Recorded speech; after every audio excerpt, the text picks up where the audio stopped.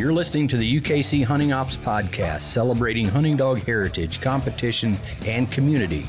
United Kennel Club has been the hunting dog sports home for coonhounds, beagles, retrievers, pointers, cur feist, and more for over 125 years.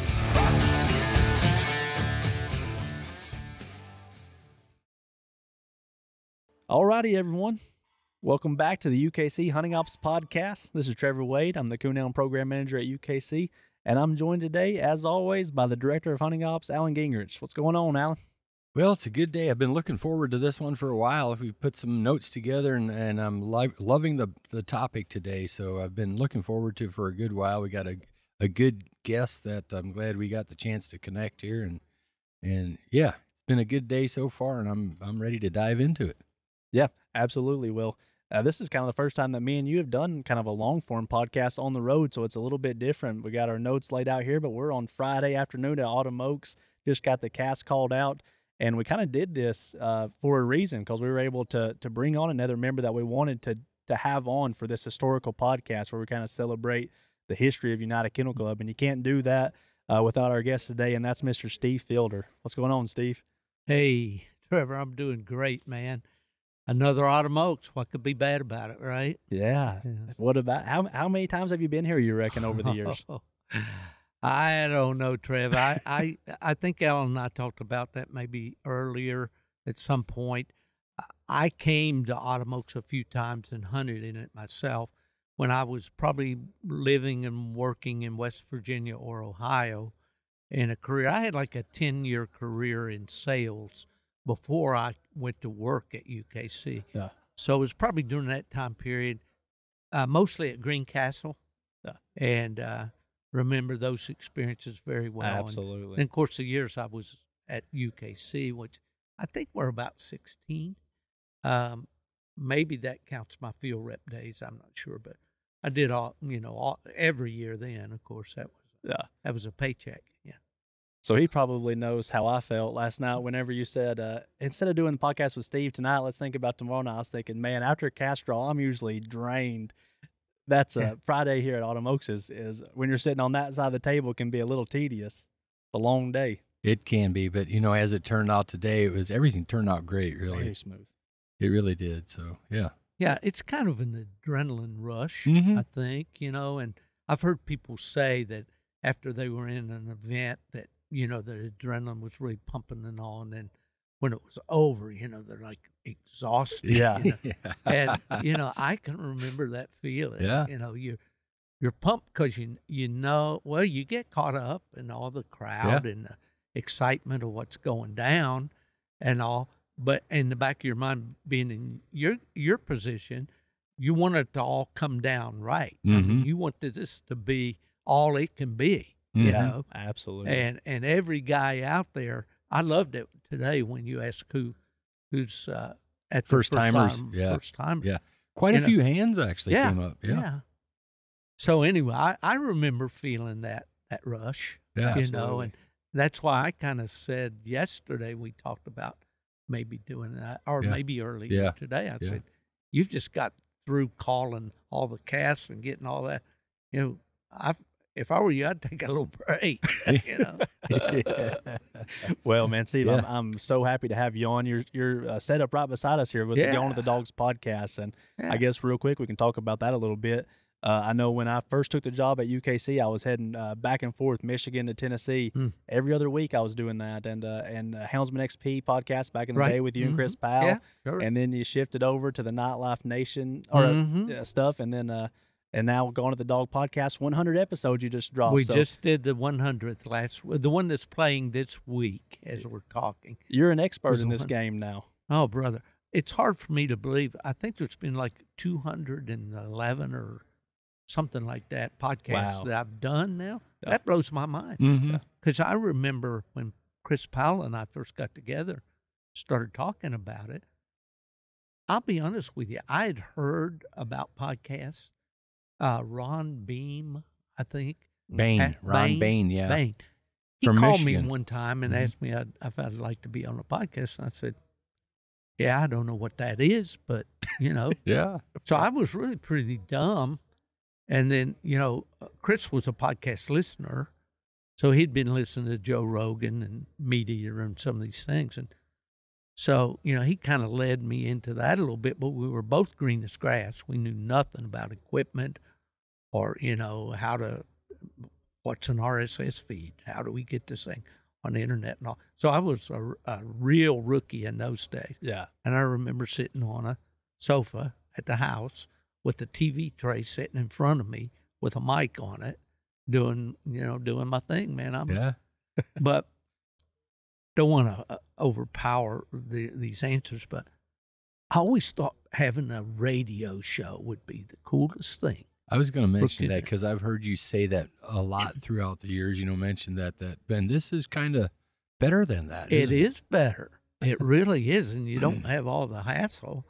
Because you know, it's one thing to say, "Oh man, I'm going to have a radio show, and it's going to be every Sunday night, and I'm going to have all the results of all the events for the Yeah. weekend." And I'm thinking, "You dummy, you don't. You're a party of one. Yeah. Who's going to feed you all this information? Yeah. How are you going to get stations to carry your show? Yeah. You're going to get it syndicated? Well, anyway, Well, it's kind of cool we're talking about this really because we're going to dive way back into where they would have never even dreamed of anything like this, you know, and, into the simple beginnings of night hunts and Yeah. and it's it's I think it's going to be hopefully we can kind of paint that picture of what it looked like, you know, Yeah. back in the day and kind of how things have evolved and mm, and uh, you know we're Yeah. talking about today's you know what the technology and everything we have available today, but things looked a whole lot different going back to some of the first mm, night hunts for oh, sure. Oh, I guess. And you know this media thing. I'm thinking as you're talking that we, you know, there there was nothing back in the very earliest days. You had somehow somebody calling in from a cast.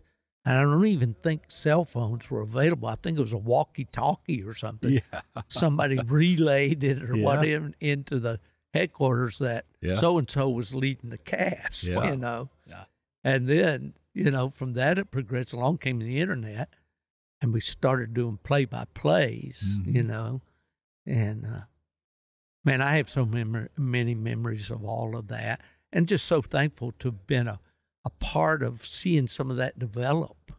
You know, because back in the days of UKC, when we started having wanted a message for them and all those Yeah. things, you know, how do you do that? Sure. You know, the internet was so new Mm-hmm.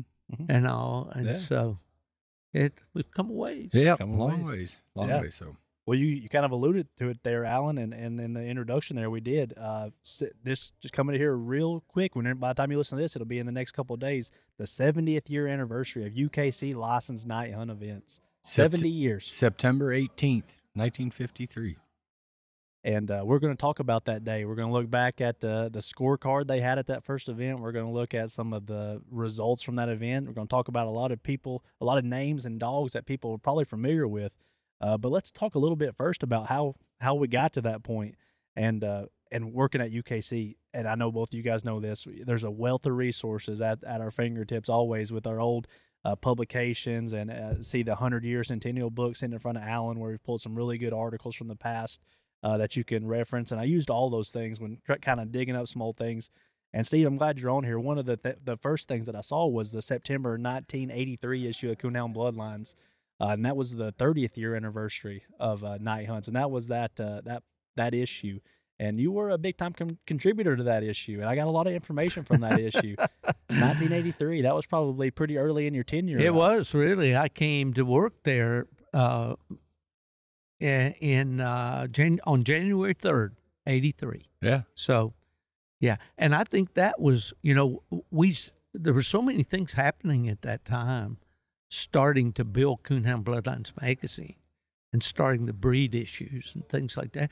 So I did a lot of writing back in those days, and really I had done no writing. I'd submitted a, an article or two to Full Cry magazine when back in '71. Yeah. I think the first published article I had was 1971 and I was in Japan in the Air Force, Yeah. and you know, and I, but when I got to UKC, uh, then President Fred Miller told me, well, we have this column or article called Coon Talk, and it was been written by uh, Andy Johnson, who was there, was kind of my predecessor, And so now this is your baby. So you, Mhm. you need to write this every month, you know. hmm I said, well, okay, well, here we, you know, but as So that got- was kind of your first writing. that was really on a regular basis. Oh. Yes, Oh. that was uh, the thing. I I always read in everything I could get my hands on, Mhm.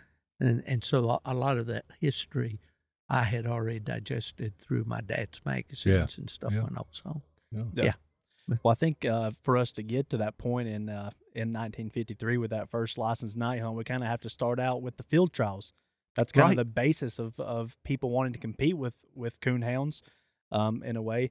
And uh, and in those articles, it tells you that uh, the first publicized field trial was back in Marion, Ohio, back in 1924. And uh, Mhm. there was a picture in the magazine of a blue tick colored hound by the name of Bones, Bones, that's owned by right. Lester Harry Hartman, right? Oh, Hartman. Was yeah, Hartman, Hartman the on there. Yeah. There was one named a fellow named Robinson also that owned. I got you. He, uh, yeah, that one of those big uh, field trial dogs. Yeah, yeah. You you alluded to a few different ones in that in that article, but that picture there of Bones and he was he was looked like a hound that you would see in the hunts today. Honestly, Oh, I mean, yeah. his Mhm. his uh, conformation and and the way he was built, he wasn't one of the long ear slower type. He looked like a fit coonhound that you'd see competing at an event like this. Mhm. Exactly. Yeah.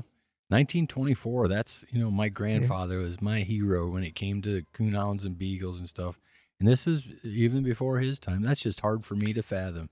My dad was born in 1920. And, uh, you know, as you go back into those old magazines, and when I started doing research for like that 30 years of hunting and doing these breed issues, went back there, those were the days when guys wore their straw hats, straw bowler hats, and their suits and or coats Yeah. and ties. Yeah. and they got all the dogs together that were in the field trial out Mhm. there and they had a big photo and and they painted the numbers on the dog's side and those guys that was pre-registration you know for a lot of those dogs Yeah. uh, ukc i think 1898 Yeah. was the first year It was. but they still, you know, there was uh, some swagger there. They had had Yeah. some events, you know, but I think those guys soon started thinking, you know, this is fun, we love it, but it's really not like the hunt. I, I want to go out and beat you with my dog in the woods, Right. You And- know. But they had some great names for their dogs, like Bones, Midnight Flyer. Yeah. Yeah. I remember was, seeing that was a name. red dog, man Yeah. you know, and they, the, Col- there was a Colonel Robinson. That name keeps coming back to my mind. He was one of those early field trialers, hmm you know, and uh, uh, but yeah, and those dogs, those field trial dogs, when the uh, the night hunt started, the first license stuff, they figured pretty strongly, you Mhm. know. They did. Absolutely. Yeah. You know, you mentioned that field trial was in Marion, Ohio. Ironically, that is uh, right next town over from Mount Gilead, Ohio, where a world championship Right. was this year. So we kind of know where that is. Yeah. Yeah. You know, right. when we go over there to the world hunt, you know, we'll, we'll go Like right through there. We might right in stay. We might stay Yeah, right hotels there. Well, in Marion, yeah. It- Well, Yeah. I, I guess we have to we have to mention the the leafy oak. We can't be at Autumn Oaks and not mention the leafy See, oak, I re- which started I three rem- years later. Yeah, three year, 1927. I think they're the Kenton National or Right. Leafy Oak. And I remember my grandfather talking about the Leafy Oak. And honestly, at the time when he was talking about, it, I already heard a little bit about the Autumn Oaks. Yeah. Or Yeah. as old Charlie Cundiff calls it, the Autumn Oak. Yeah. You know, Well, but I thought he was talking about the same thing, but it really wasn't. Well, This was Lee, a different Lee. Kearns, my good friend from South Carolina, Lee just had his 84th birthday. Wow. Lee's quite a great guy to talk to because he hunted with some of the real famous dogs that we talk about Yeah. in the Walker breed, especially Mhm. Banjo 2, House's Lipper, Yeah. um, Gold, uh, Gold Creek Mundo, Yeah. all these dogs. He actually hunted with those dogs and bred to them. But Lee calls it Autumn's Oak. Oh, Autumn's Oak. Autumn's Oak. Yeah. Put the little on spin on it, don't they? You know, I mentioned Charlie Cundiff always called Oh, it the Autumn Oak, and, and his Autumn his son Doug is a field rep for us, and he Right. that's what how he still calls it too, the Oh. Autumn Oak. Yeah. Yeah. Well, hey, you, you kind of talked about this a little bit, Steve, but already by the uh, probably in the twenties already, but definitely in the thirties, the the field trial stuff was kind of uh, was kind of already uh, not being well received by the coon by the the true coon hunters at that time. Uh, just a lot of issues. And uh, there was one excerpt in the in the magazine that I saw come from a, an ad. Hans Wagner, that's probably a name that's familiar Oh, to yeah. a lot of uh, black and tan fanciers for sure, and his Midnight Melody Coonhound Kennels. And there's an ad back in the 1930s. I'm just going to read a, a quote on on his ad uh, of him and, and what he and and you can kind of uh, see how I would say hit this opinion was shared by a lot of the true coon hunters of the time. It says we have always bred the best of the best, and by this we mean genuine old coon hounds that have won their spurs out in the big woods and water country, treeing wild coons in all kinds of rough weather. Not mongrels that have won their championships over a Tom Thumb golf course on a warm Sunday afternoon, running a 20 minute old coon drag, which any parlor poodle can do, as is evident by many of the great field trial champions. Steve, you you uh you quoted it, and then afterward you said the battle on the battle lines were drawn. the gloves were off yeah. for sure. Hans Wagner was a really colorful guy. He was an uh, a window dresser. Mm. He would do back in the old days in the towns. You know, you went down the street and you window shopped, and the and the new clothing lines that came out of the new furniture and all that stuff were placed in the windows for people walking by to see, and that was his job. So, and and he must have done some advertising writing too. Yeah. And he's the guy that we really accredit for today's type of black and tan, the what we, they call the medium eared black and Mhm. tan. Yeah. But he was quite the advertiser, man. And I, you would read those ads, and he would be on a camp hunt on the, those rough bluffs in Iowa along the river, and you know, and he could really paint a picture, Yeah. a word picture. Yeah. So he was a real leader, a Absolutely. pioneer. Yeah. Absolutely. Yeah. Yeah. Call them parlor poodles. Yeah. He wasn't gonna he wasn't beating around the bush much, was he? No, No, he's letting it be known. Yeah. Yeah. But uh, but you did make a good point, and and I think that uh, it, it's true. And you kind of talked to you kind of mentioned it uh, without probably even noticing it. But uh, we talk about these these field trial dogs. They're this certain style of dog, and then there's also these uh, the the typical coonhounds of those days with the long ears and Mhm. and you know the bugle mouth and everything. But whenever you combine those two together and people are working towards, uh, you can kind of get a pretty good coon dog, and I think that's kind of what happened. Uh, when you when you're you're breeding those kind of two things together, you, got here. Many coon hunters had the Mhm. long-eared, bugle-voiced, cold trailing, walking type of coon hound, and the field trialers had the trimmer-built, racy type of hound that would cover the course in the fastest time. And uh, good commercial breeders at that time were able to meld those two types together, and they were able to have pr- pretty successful lines by doing this. I think that's exactly what happened, you know, because Mhm. uh, the the black and tan, of course, was you know the old standard coonhound, you know, and they were called a lot of them. People called them sky lookers, you know, because they would take a couple steps and smell that coon scent, and they'd stop and throw their head lift straight their out head and lift toward the it- moon ball, and yeah. let out a big ball, and then they'd you know down to the ground they'd go again and make a few more sniffs, but They weren't they weren't ambush dogs, were they? no, they were They didn't have many ambush dogs then. not at all. But you know those dogs they kind of progressed with the pioneers, you know, across the country, and the Midwest became a big hotbed for all this this field trial activity and all. Uh, you know, there was an event called the Transippi. If you find that in history, it's a big field trial. Mm-hmm. There's, you know, and and then of course the Kenton you mentioned Mhm. earlier, Kenton National, which was actually the predecessor to the, The leafy oak. Yeah. and uh, and then of course the good folks at UKC decided to, that leafy oak was more of a I may be jumping ahead, but little was more of a field trial and water race and all. And we want something for the coon hunters, the guys Yeah. that want to compete, you know, and Yeah. and Yeah. I think that's they had a lot of things going on at the Leafy Oak or the Kenton Oh, yeah, no doubt. yeah, it wasn't a, it, it wasn't a place. It wasn't. Let's put it this way: it wasn't the ideal family Yeah. vacation. yeah. Well, well, we are going to jump ahead a little bit. We, you know, we've we've talked about the uh, the inception of the field trials. We've gone through the 30s a little bit, but let's get to the the mid 1940s, and that's when things really start to pick up.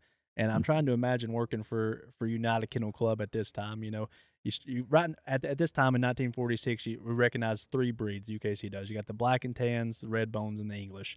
And uh, right here in a, in a, just a short time frame, uh, you, you, get a few more on board. In, in 1945, the Treeing Walker Coonhound breed branches from the English Coonhound breed. The Blue Tick Coonhounds branch from the English Coonhounds as well. And then the the Plott Hound, your uh, your breed of choice, is uh, is recognized as a breed in 1946, and that's all all happening at once. And while that's going on, uh, there's a real push for for uh, for a different style of coon hunt at this time. Mm-hmm. And uh, and that and in that in 1946 is the year there was a, a meeting in hunt held in Wickliffe, Kentucky, and uh, and the and the history books would tell you that's kind of where the first seed of where uh, today's night hunts come from was from this mm-hmm. meeting, and uh, and we've talked about it a little bit. Uh, we we've talked about the good things that the field trials did for coonhounds and progressing them, but there were also some downsides to it, and uh, and a lot of the coonhounds weren't happy because uh, people were kind of going away from coonhounds in these field trials, and they were using more of a, mm-hmm. a sight hound type dog mm-hmm. that was more based on speed than any sort of yeah. sinning or or hunting yeah. ability. Yeah kind of mixed up dogs with greyhounds, whippets, and exactly. dogs like that for you know trying right. to build that speed. Yeah. You know, I speed was probably more important than anything, really, for the most part. Oh yeah, yeah a, absolutely. And there was a lot of greyhound influence, as you said, Trevor. And I remember the first field trial I went to with my father, and I wrote about it in my book. That you know we were standing on this hill, and we were standing near the home tree where the dogs would, and they would have to come up over this hill and then there was like about a 50 yard dash to the home tree. And, you know, these dogs come up over the hill and they're these greyhound type dogs. And, and, you know, and they're flying and a lot of them run clear past the tree yeah. and all. And in the distance, you can hear this, oh, and I'm listening and, and just a little bit. And these other dogs now, they've come back to the tree and they're jumping up and down. And here come these two long eared, old fashioned black and tans right up over that hill, right on that track, and they're working it. Mm-hmm. And right in, oh, and right into that tree. Sit down, throw their heads back, and tree, you know, yeah. and, and, that was a, the contrast yeah. there you know, of the two types. Yeah, and you you mentioned uh, jumping up on the tree, and a lot of the old pictures you see of dogs treeing, they are up off the ground like that. Uh, yeah, you see a lot of pictures like that. Yeah, I but, think it was the type of dog maybe, and that they were so excited to yeah. see that lure. And back in those days, I, I, think most of them were actually used a live raccoon in a cage, which we don't yeah. do now. Mm-hmm. But uh, yeah, but that was one of my first experiences with that. Yeah. You know, the two types of dogs right there. You know, I got the yeah. got the full picture. yeah, you got a you got a front row seat to that one. Yeah, yeah. And there was some real influ- uh, going back to the meeting. There was uh, some real influential people there, and there probably a few guys that we're going to mention over and over in this in this podcast. A couple of names mentioned were Brooks McGill, mm-hmm. Sam Hawkins, Manfred Craver, Archie Weir, Burl Fruitz, and it says about 15 other interested hunters and this group met together in Tupelo, Mississippi, and they actually uh, had a little name for themselves called the American Cooners Association. I think a lot of people will be familiar mm-hmm. with that name even mm-hmm. today. ACHA. ACHA. Yep, yeah. ACHA. You know, and you're right. Brooks McGill is a name. Manfred Craven and or uh, Craver and Brooks McGill are two names that were yeah they're just synonymous to this right. sport. And they were both uh, red bone fanciers. Yep. And the other name that comes in, Robert Graves, yep. comes in through the Alabama mm-hmm. side. See, there was a group at Columbia or at Alexander City, and and I would imagine from that account, Trevor, that those fifteen others or so probably included right. Robert Graves, yep. sure. John Carter, yep. some of the people that I was fortunate. I did. I never met Robert Graves. His daughter was Manfred Craver's wife. Okay. Oh, okay. So there was a connection that. there. Manfred Craver, we would take just a second. Yeah. Was the manager of Autumn Oaks for many years. Good. Manfred was a very astute guy. I mean, he he was a buttoned up guy. You mm-hmm. know, he wore a tie and a jacket, a little fedora hat usually, and he was a student of, of the rules In fact, he wrote the first rules Yeah, corner did. articles. Oh, A nice. super nice guy and was on staff as a field rep Hmm. when I first became a field rep. Wow. Very So So you, Manford- you knew him personally. I knew Ma- Manford personally, and I can tell you that the prior president of, of UKC, Fred Miller, highly revered Manford Craver. Hmm. When Manford passed away, Fred drove from Kalamazoo to Greencastle, Indiana, you know, to attend Manford's uh, funeral Mhm. and really thought of But Manford was just a special guy. Yeah. He was a real special Yeah. guy. Yeah. Absolutely. That's interesting. It's pretty neat that that's somebody that you would have known personally. hmm Well, the thing down through the years that people used to ask me about the rules, and you guys are now interpreting those rules, and they change periodically and all. But I could always say, you know, well, and they'd say, well, why is this rule like this or that? And I could remember the rules committee meetings and, And the sitting intent- there the and intent, listening. yeah. the intent behind the rule. Yeah. And that helped me a It lot. does. Mhm. And and Manford was that kind of guy. He had been there when the darn things were written the first Yeah. time around, so he knew, you know. And uh, that's Do you think you know uh, going back to that? Speaking of writing rules, did were those guys good at how they wrote those rules to be able to interpret them in the way they were intended? you know that's that's a good question, Allen. And I can recall, and I don't know. I guess I've kind of been gifted, and I don't want to say that smugly at all, but gifted with editing things Yeah. that didn't sound quite right. Mhm. And I remember all those years on Rules Committee, the Rules Committee members would sit around that big boardroom table at UKC and go over the entire scorecard on a single weekend. And they someone would present a rule change and they'd throw it out there and the language would be real tricky. It'd be a lot of unclear meaning and stuff, you know. And so I I kind of assumed the role of sitting back and listening to the discussions and all when everybody had their say and say, Hey guys, I hear what you're saying. What if you said it this way? Mhm. Would that make sense? Mhm. Now they didn't always agree, but in most cases Mhm. they said, Yeah, you know. So there was a time when I was at UKC that I went back over the field trial water race, all those rules, and kind of tried to clear up those vague things, you Mhm. know. But uh, no, I think they did a pretty good job. You know, they were Well, I know in today's, you know, today we do kind of pine over things like that to make Mm. sure we try to write them in a way Oh, that is yeah. is understood as it was and you do a great job. You do. but uh, yeah, you just wonder about when they first wrote those first rules, you know, Yeah. and that uh, if they came across the way they were intended. Mm. But, yeah. Well, when I spoke with John Carter, who was part of that, You that's somebody that you also met. You went Yeah. to his house, did you not met him? I he was was in Alabama. Alabama, in Alabama. Shorter, Alabama, near Montgomery. And through his son in law, Ted Johnson, told me, he said, You know, John Carter is my father in law. And John participated in the writing of the first set of rules for ACHA. I said, Wow, I'd like, and I did meet him at the UKC Winter Classic. They were Mhm. there Mhm. in Albany, Georgia. So I was able to arrange on one of my trips to go by there. They invited me to stay over. I stayed two days there with them and talked to Mr. Carter at length. Yeah. And he he passed some it wasn't very long after that. But he his mind was very bright and uh, we talked about that and he talked about how the rules came to be, the problems they were having uh, with subjective judging, where a, a judge went out and said, "I like this dog best." Yeah. he's the winner. Yeah. Yeah. So you know, and he said to me one thing I always remember.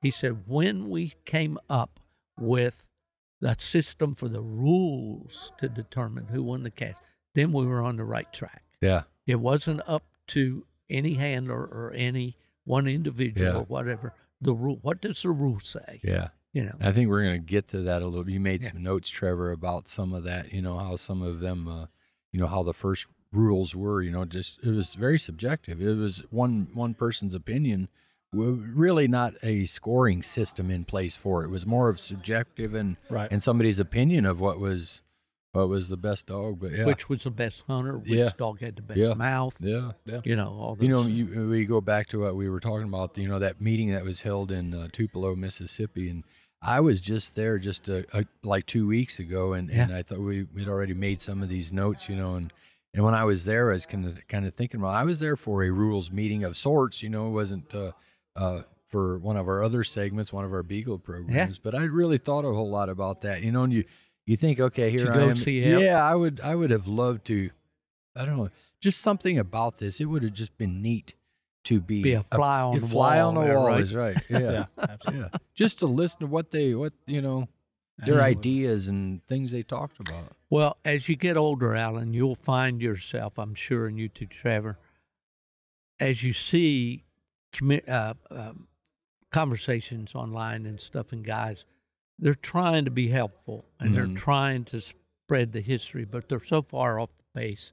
You know, you just want to. Sometimes it's very frustrating, but you can't be a know-it-all. You Yeah. can't Yeah, you know but to to actually have known some of these people because you mentioned the 40s i was born in 1946 That was a busy year then. that's right and uh and the coonhound magazines were always in my ho- in my home as a kid as i Yeah. started reading yeah, but you know that was a that was a pretty busy time you know Yeah. we got our first ukc registered dog in 54 Wow. so but but then to think about all these breeds coming in all these associations being formed dr ed Fuhrman was a busy guy Yeah. he, he was the president of ukc at that time Yeah. And uh, and and especially by today's standards, things as far as bringing in new breeds, especially of like a like a like a like coonhounds or a group like that, Yeah. you know, in the same group. That that was a lot going on in a matter of sure of no time. But yeah. Yeah. So you mentioned that meeting in Wickliffe uh, or Wickliffe, Kentucky, you know, but uh, they also had a wild coon hunt that happened there on that uh, at that uh, place where uh, uh, where you mentioned here, according to the ACHA website, that was confer- considered as the first uh, world championship. Yeah. That was in what 47 40, uh, 40 uh, It says it said 1946. on Six? the- 46, Okay. yeah. Yeah, Mhm. and Yeah. a dog named Kate's Dan, Leroy Campbell, a Redbone, won that first Yeah. hunt. And, And it, then- it's interesting about the Redbones. We mentioned them earlier about the field trials. They were Mhm. very dominant in the field trials. And then when the UKC, I'm jumping ahead, I guess, but the first UKC night champion was, was a a red bone. Yeah. You know, so it's that breed. You know, really was a for in, in the forefront. Yeah. But going back to what you're saying about the 40, mid 40s, there, the red bone, Black and Tan, and the English were the three breeds Yeah. until these others came along. Mhm. So I guess there was a lot of red dogs around. Absolutely, absolutely. Yeah. A- And after that first one, there we uh, you talked about the one in Kentucky. There, there were a few other hunts in Columbus, Ohio, in 1947, and Jackson, Mississippi, in 1948. Yeah. And you talked about it a little bit, but there uh, there was a lot of issues with these first night hunts. You know, they were a, they were a step forward from the field trials. I think the hunters thought, but there were still some issues. Um, and, and the biggest issue was that there were no points or rules to base anything off of. Yeah. The non-hunting judge was going out there usually with a cast of four dogs, similar to today, and without ever having heard these dogs, uh, Yeah. trying to figure out which dog was the best. They've never laid they never laid eye on these. Yeah, dogs. let's talk about that for a minute. Can you imagine? So I'm judging a cast of dogs, and, and I'm a non-hunting judge, and what I say is going to go here. My opinion is going to be best. But really think about it. If if I'm I'm hearing your dogs for the first time, I might not even know what I'm whose dog it is. It No. takes how long does it take to figure out whose dog is who and what dog is Right. what? Right. And then I'm I can't imagine how I'm going to No, really wow. Do a good job of figuring out what the best dog is here. Yeah, and how do you have any? And I don't, and maybe they hunted all night. I'm not sure how long they hunted here. Uh, probably you at know. least three hours, maybe four. Yeah. Yeah. You would think because the first night hunts, you know, were were at least three, four hours long, you know. But yeah. yeah. That's that's yeah, it's kind of mind blowing. And, can, and and and what if one of the handlers didn't agree? You know, we we we, we now have some pretty specific rules. Do you know, imagine written they out. didn't Uh, agree? Yeah, and Yeah. yeah, and, and here it is wide open as that Yeah. was. Which The fu- funny image says right here that uh, the biggest issue that came up of these first hunts is you couldn't get judges after the first few because they they were just tired of, They of beat all them the down. backlash they got. Probably a lot of one timers. Yeah, I guarantee Yeah, one and done. Yeah. Not doing that again. Oh Yeah. man. And, Yeah. and to bring up Manfred Craver again, uh, there Yeah. was a, a little bit of a write up that he made uh, talking about uh, an event that he attended at Leafy Oak National. And uh, here's here's his quote here. It says, "My Lindy Flyer was in the final cast with another Redbone and two walkers. There were no rules, no points. My Redbone Lindy struck and trailed and treed, treed two coons by herself. One of the walkers was not in on the coon until after we were at the tree. He never opened on the track, and I'm not even sure if he even treed. The other two didn't come in at all. My Redbone was nine years old and a reasonably close hunter, and the walker stayed out of sight. There were not other tracks struck, nothing else treed, and I lost. The, ju- the judge Oh, well. said he liked the way the walker got around through the woods better than mine did. no other explanation was given. And can you imagine the guy saying, "I'm good, okay"? Yeah. That'd be a pretty tough pill to Yeah, it swallow. would I be, think. wouldn't it? Tree two coons, and, and Yeah. just because another dog stayed out of sight a little more. Yeah, I don't know. Yeah. It'd be pretty tough. It, like, I guess, yeah. The thing Liked comes, how he barked around in there, I guess. Yeah. Yeah. it comes to mind to me if you've it, uh, guys have ever been on a cast with somebody that absolutely did not know the rules at all, Mm-hmm. a novice or whatever. Mm-hmm. And I can remember a situation back home at our club in West Virginia. A fellow was hunting in his first hunt, and his dog did tree a coon, but he never struck the dog. He never treated the dog. He didn't do anything in accordance with the rules, but his dog treated the coon. So he was highly irate that he didn't win the cast. Sure. And you try to explain to them, this is why you didn't win. They don't want to hear that. Uh, The bottom line is my dog treated a coon, so therefore he's a winner. Yours didn't, Yeah. and therefore he's the loser. Yeah. And what where would we be without rules? Mm-hmm. Yeah. Yeah, you know, speaking of rules, and right in during that time, 1948, here was that timeline. You mentioned Robert Graves from uh, Robert Alexander City, Alabama. You know, met with a group of hunters in the area, and they started working on rules for a night hunting club. Yeah. You know, and he formed that. Uh, he founded the East Alabama Night Hunters Association in 1949. Robert Graves. Yeah. Yeah, you- a name you hear over and over again: Robert Graves, Manfred Craver, uh, a couple of these guys. And we're fast forwarding to 1950, 51 here, and it says the East Alabama Club had just hosted an ex- a successful ACHA World Championship, and a group of men met at the cafe in Alexander City. Yep.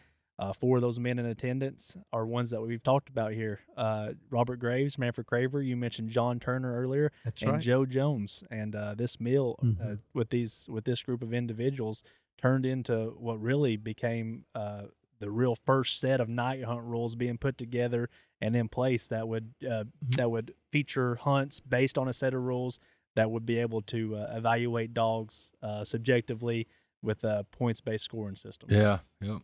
Yeah, and and I remember, and I don't know if this is a misprint. It may not be. I don't. I'm not familiar with John Turner. The gentleman I knew was John Carter, Oh, but he was part of that group, and there could have been a John Yeah. Turner also. But I remember him saying distinctly, after they did that and they wrote these rules and all, then he said we were on our way. Yeah. You know, the they foundation just, had they been just laid. knew this is what we've been needing all along. Surely they would have taken some of their own dogs and tried those instead Yeah. of just writing them out, right? Yeah, well, it, it You would kinda, think- kind of says Oh, they, did. They Yeah. tried Yeah. them Yeah. for sure, and they had. Mr. Carter told me that one of the guys. I think Robert Graves was the guy that was kind of the scribe when they'd come up with these rules and everything. He was the guy that kind of put sense to it, put it on paper, made it Yeah. work. You Mhm. know, and I did an article about this one time, and I don't know if you guys saw it, but it talked about how at that club they checked entries. Do you remember that? Yeah. reading that. Yeah, I did. I thought that was Yeah, interesting. yeah. Because they, uh, out of, I don't know how many, 60 dentry, they had a guy at the club that could climb. Yeah, Yeah. And most, no, they came up with like 60% of the dentries they made did not have a coon. in it. Yeah. us Yeah. coon hunters do not want to hear that. No. and there's another story about that. I don't know if you want to hear, but the club at Millstead, Illinois, one time conducted an in depth study hmm on weather conditions, wind, barometric pressure, moon, how many dogs were in the cast and all that.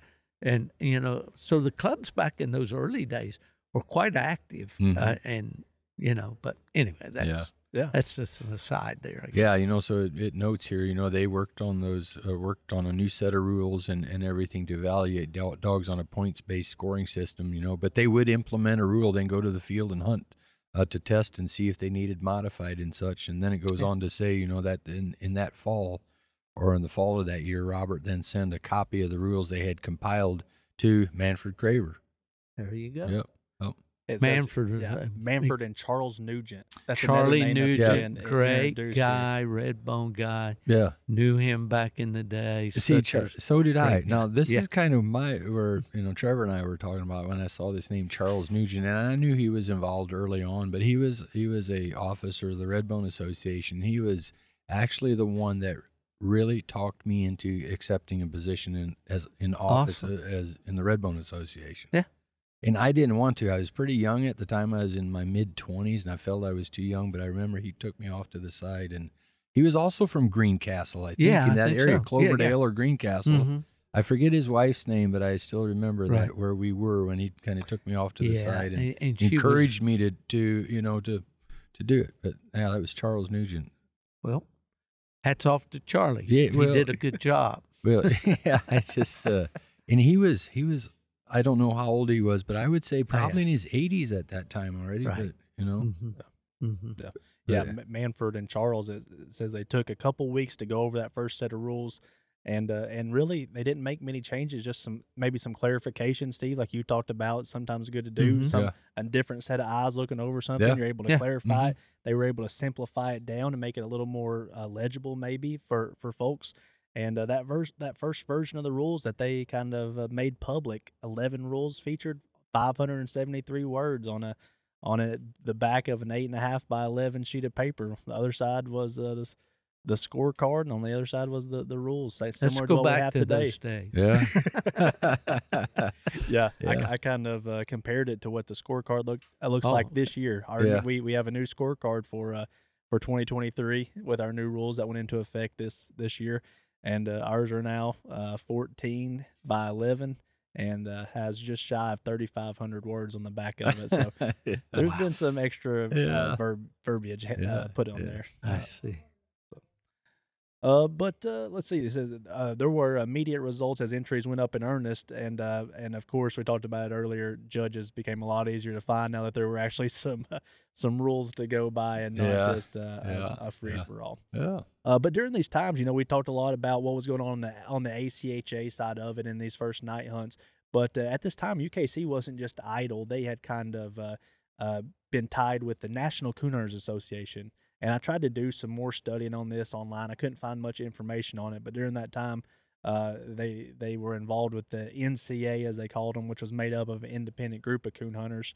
And uh, and basically, what UKC did for them was promote the NCA and their events Mhm. uh, donate free advertising, and, and in return, the NCA required that the dogs that competed in their events must be UKC registered. Yeah. Yeah, as I could read that, you know, from that all those uh, resources that you mentioned before at UKC when I was there, uh, you know, a lot of that history. And you go back, there was quite a strong relationship there between this NCA, and I'm not sure. I don't remember who the principals were in that organization.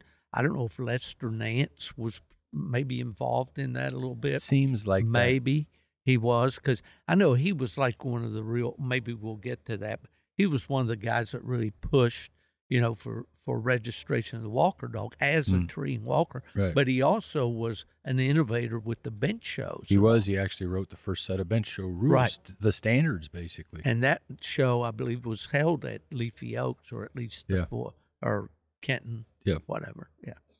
Th- those first NCA, NCA events, they they kind of got started up with an event they called the Mayflower National. That was in May of 1951, and you mentioned Lester Nance. He actually won that first hunt with uh, a treeing walker he named NNK Sparky. Sparky. Yeah. Um, it Well- was. uh, oh, go ahead. no, uh, go. I was just gonna say that the second one they had was just later that year in September in Arcadia, Indiana, one that they deemed uh, Treeing Walker Days. Yeah. And uh, Lester Nance was the master of hounds at that one, but I couldn't figure out who won that event. There was no mention of who won it. But then it also mentioned the third event Uh, and the final one that it mentioned was uh, another Mayflower National the following May, in which the winner was again Sparky Lester Nance. Yeah. He, he doubled up on him there at the, the Mayflower National. Yeah, the only thing I was going to point out that kind of, uh, kind of, I noticed right away is you know Manfred Craver was uh, involved in writing, kind of writing the rules, so his dog was in contention to win at one of those first ones. Here you got Lester Nance involved. He's also one of the first Oh, ones. So yeah.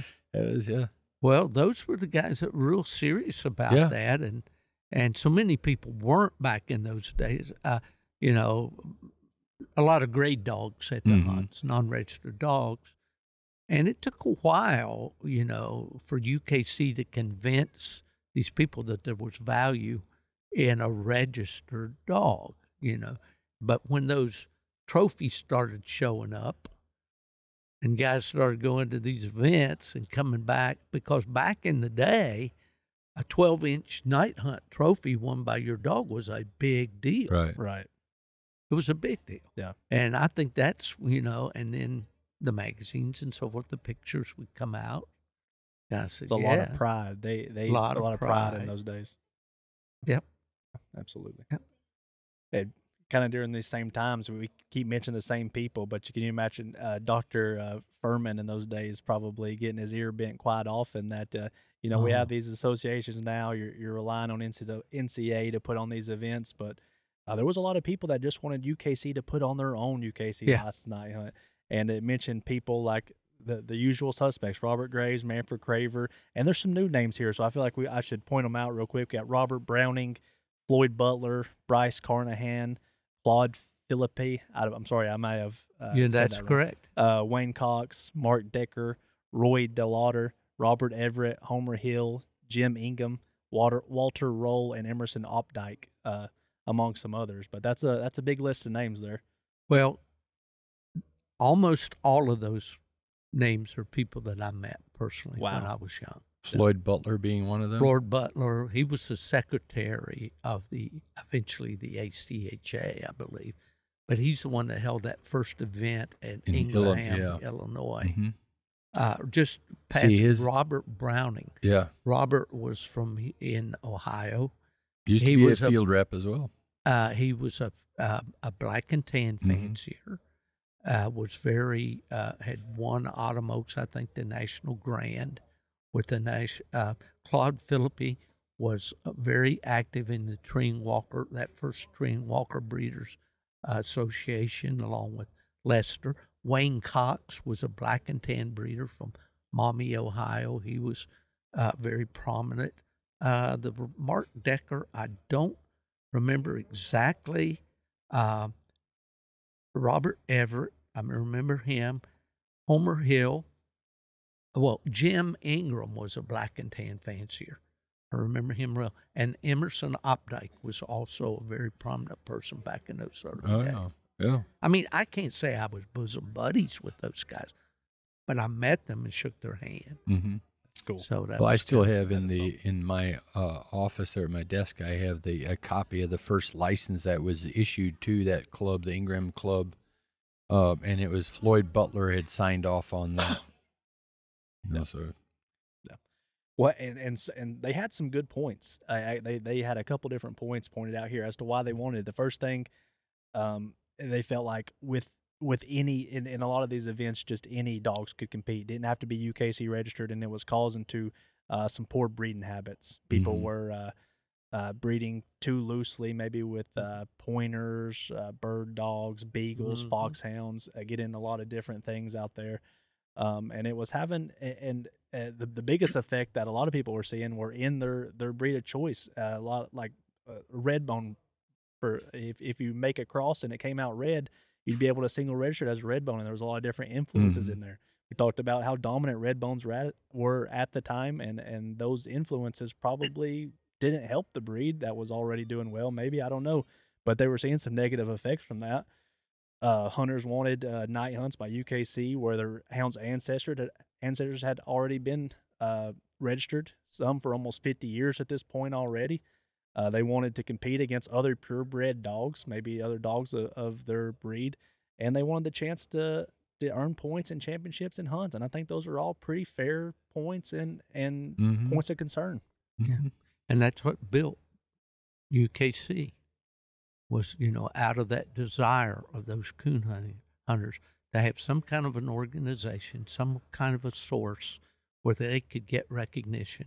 I, long time ago, said that I, if I had any epitaph on my tombstone, it would be recognition is the name of the game. Yeah. I think the guys have always wanted that recognition. That's what you guys do so well right here. To be able on Sunday morning to walk up here in front of a crowd of my peers and all and say, Man, I am the national champion. That's it's huge. It's Mhm. bigger than money. It's bigger than anything else. Yeah, so so with all those people kind of of in his ear, there were a lot of meetings going on through late 1952 and early 1953, and I think we're kind of getting towards the time frame now where we're we're just 70 years out now, so we're about to see some things happen now, and uh, and it, it talks about uh, some of the people who had who had the strongest urge, and that uh, Dr. Fuhrman uh, was really taking uh, listening to a lot, and that's Robert Graves and Manfred Craver. And the things that they kept telling him is that you don't need to work, you know, you need to work on getting the events scheduled and everything, but you don't need to work on getting a whole nether set of rules. We already have those. Let's just use the ACHA rules. They're new to people, anyways. If they have to learn a whole nether set, it's just going to cause issues. And it actually worked. The UKC decided to use that first set that had had dropped for their own licensed events. Sure. Yeah. If it ain't broke, yeah, and when fix we when we look at those rules today, we think, "Wow." it. yeah. I remember there at the office. I'm sure you've seen it. We had out in the display case. Uh, we had uh, had a picture of that scorecard for a long time. You Oh, see yeah. the same pictures you see in the Yeah. in the first hundred years of Right. UKC, that publication they put out. You know, Mhm. but it's uh, Sure. yeah, it's pretty interesting to uh, to see some of those first rules. Yeah. Mm. Uh, Do, do we want to talk Yeah, about the, the scorecard yeah, right now? Yeah, I'm kind of looking at it here, and it's it's completely. I mean, i i- it's it's way different than the one you'd see today, where basically you were just tallying, striking tree points for whatever reason, and scoring them based on what the dog does. Uh, there's a lot more that goes in consideration here, and instead of uh, kind of uh, 25, 50, 75, 100, there's uh, Yeah. it's a kind of an Obedience. accuma- accumulation of points Yeah. by things that not only the dog does, but the handler does. yeah. throughout So the what hunt. is that handler obedience in the handler? What is five I think it's there? the way the dog handled, you know, on leash, and did the dog come when the handler Mm. called him, and and you know, or was you know, just basic yeah. fundamental Yeah. obedience. Yeah, yeah, yeah, say. yeah. And voice fact- hound or Pardon? hound voice, the voice they gauge the voice. Yeah, Yeah. So the judge, well, there was a point system here of uh, of sorts where they would could. I, I don't know if the if the dog was an obedient handler. In other words, he he handled well. I guess he got five points. yeah. But maybe if what if he was so so? Did he get two points? I don't. yeah, Uh, I don't you know. I, I don't know. But uh, but That's- then it goes into That's where obe- clarification of the rule. How many how many words did they have?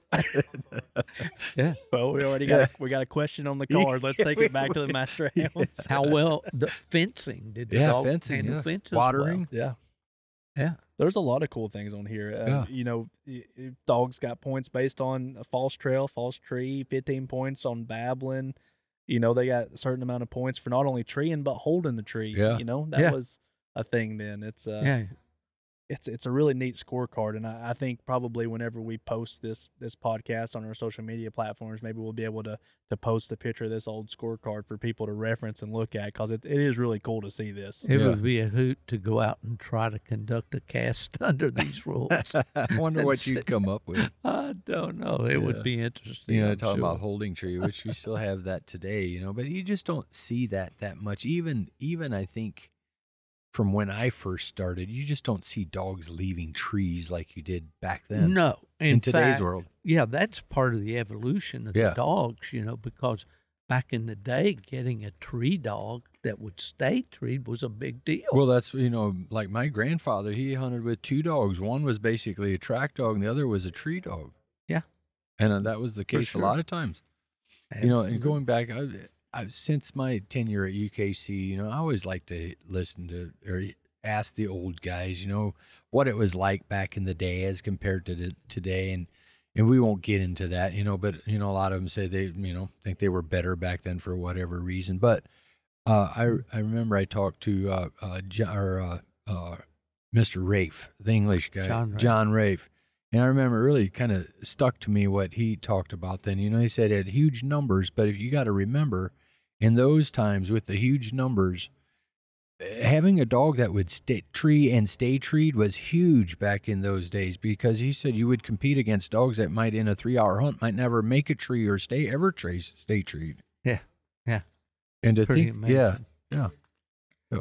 Well, that was people that just enjoyed uh, being out with the dogs, Right. apparently, that would tolerate that kind of dog. Yeah.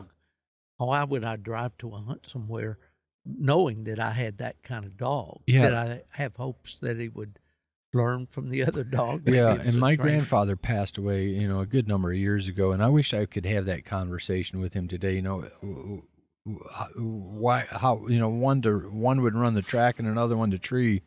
You know, I what happened to the what happened to the track dog? What was it doing when the other one was treeing? Was it out looking for another track, or was it just milling around, or what did they do? You know, I don't Yeah. know. Yeah. But that, yeah, going back to this scorecard from the Ingraham, Illinois, 1953, that first wild coon hunt. That's uh, yeah, and then you know it does have the it does have the uh the rules written on it as well.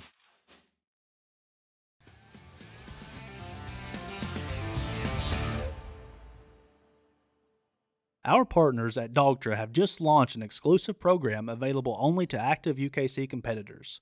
So if you've competed anytime this year or plan to compete in any future UKC events, you can qualify to receive exclusive benefits through Dogtra. Take advantage of this exclusive program and become a Dogtra competition field staff today. To sign up, visit dogtra.com forward slash Dogtra competition field staff. That's dogtra.com forward slash Dogtra competition field staff.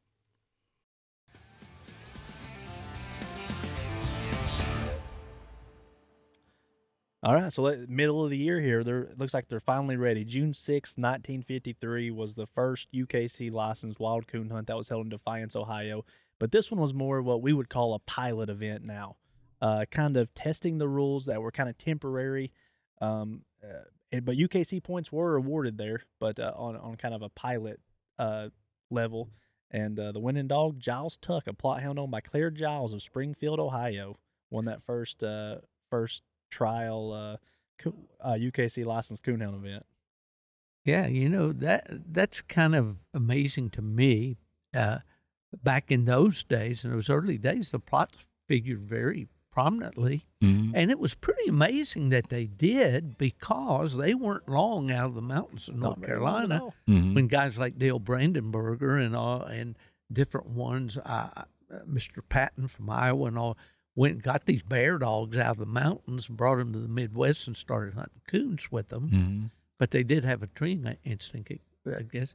But then to think, you know, back then the red bones and Plotts, which now, you know, usually in sheer numbers, they're on the on the bottom of the heap Sure. as far as you know the other breeds. But Yeah, to me, that was pretty amazing that they they figured that well, you know, early Yeah. on, and, Yeah. and they weren't through yet, were they? They weren't. They weren't. I do want to mention an excerpt from uh, the 1953 July August issue of Bloodlines. Uh, that talking about there used to it's, it looks like to me looking at a couple of old they used to kind of do a write up with some of these first events and, it- and it kind of is cool to look at and the, the little write up with this event these points are scored on the basis of the dog to produce under actual hunting conditions out in the woods and fields this is where real coonhounds are made and where they are judged on their ability as real trailers and tree dogs they are on their own here. We do not see any whippets or greyhounds leading the pack by eyesight and noise. no, it is here that blood, breeding, and training tell the story of the true hound. And I think it holds up today. You know, in some of the other programs and segments out there with different dog events, um, and I don't know which ones specifically. I'm not going to call of any of them out, but uh, coon hounds and the coon, I think a, a, a night hunt event, it stays pretty pure to what coon hunters want at the end of the day.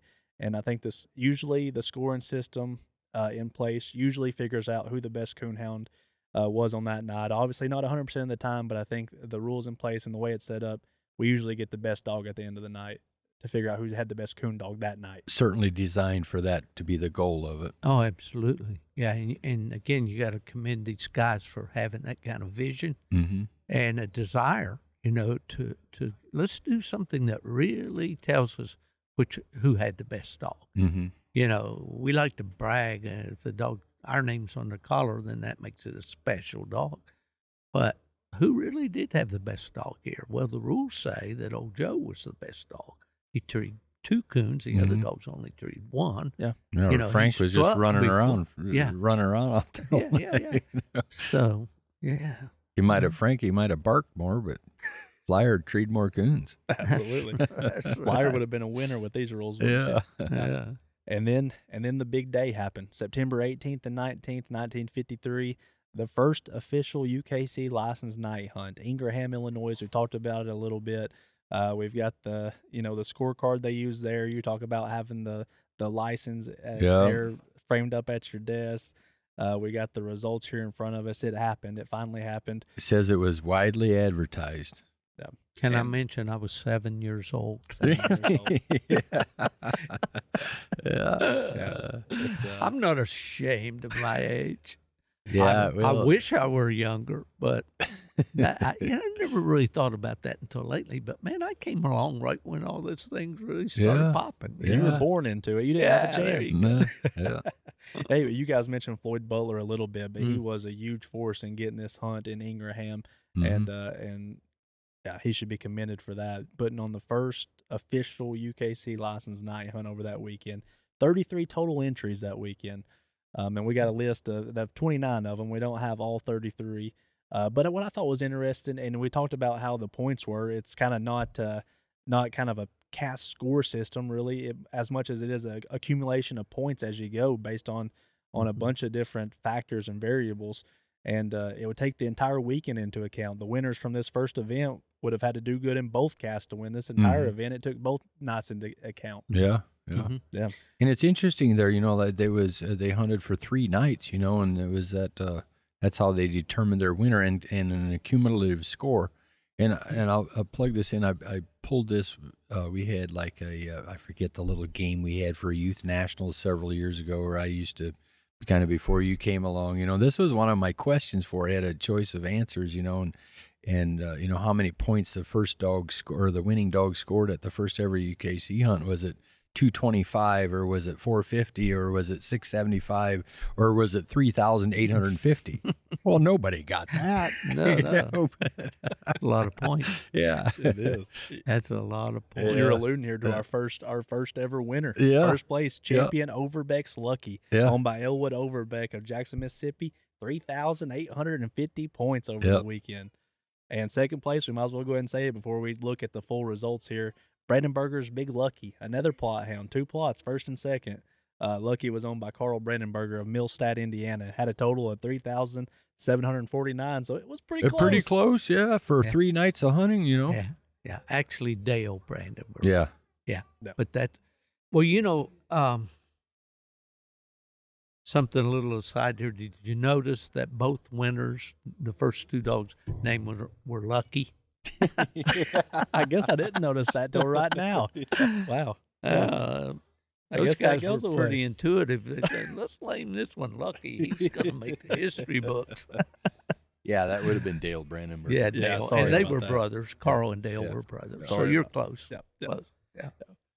Uh, but it's a bunch of, it says the magazine, uh, a bunch of coonhound enthusiasts would be surprised at how many of the winners we would recognize from that first weekend. And just going through some of the top 10 here, you know, we talked about, uh, we talked about Elwood Overbeck. There's Dale Brandenberger. Uh, James Merchant's mentioned on here. There's Lester Nance, uh, Junior Gibson, Floyd Butler.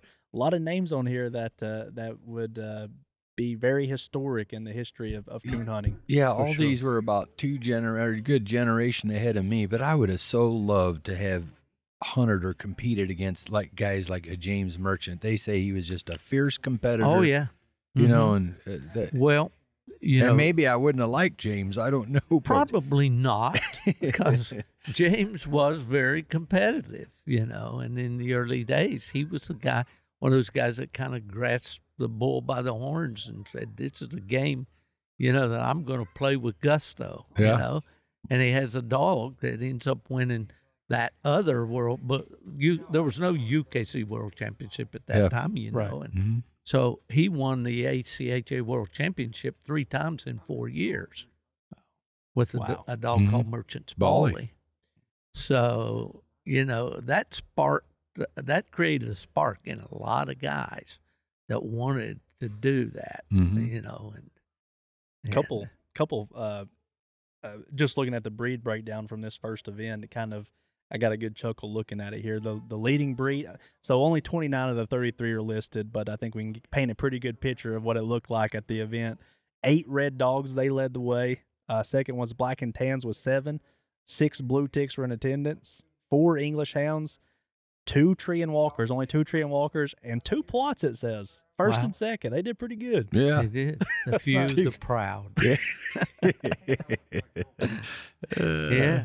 Yeah. Well, th- th- that's the thing, you know, uh, before registration, the walkers were not, you know, they were foxhounds basically. hmm They You were. know, they were. And it wasn't long after, you know, uh, Motley in Missouri was one of the innovators, and Lester Nance, and those guys, and they came along with. They had these dogs that would tree, and and they started to breed them, you know. But that pendulum really swung Yeah. far to the right or left, whatever. Yeah. Yeah.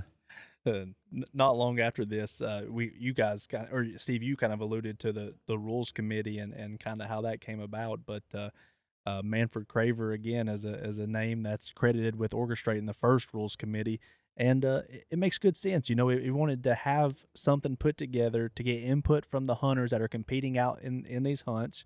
Uh, you know, I say it all the time when people are talking about uh, uh, rule input and say, well, why doesn't UKC just change the rule if they think it should be like that that way? We like to give the hunters that are out at competing in it. I can't remember the last time I competed in a night hunt. You're out there actively competing in the hunt. What are you seeing? I'd like to hear some firsthand Yeah. feedback on hmm on that. And and Manfred was probably ahead of his time in thinking that way that the hunters should have a huge say in it because they're the ones out actively competing in it.